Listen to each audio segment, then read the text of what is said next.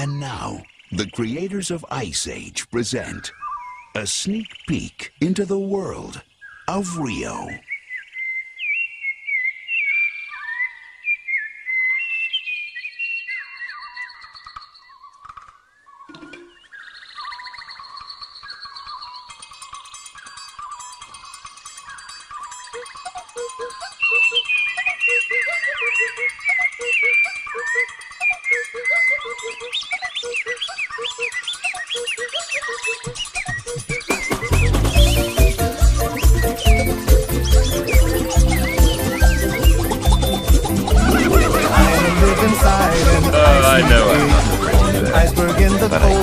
I